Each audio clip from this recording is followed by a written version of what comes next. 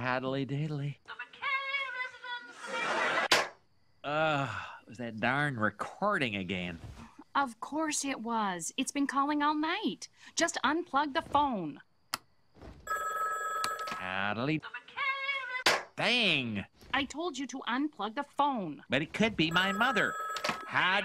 Shoot! That is it, Ned. If you don't unplug that phone right now, you're sleeping on the lawn. Will you two shut are trying to sleep.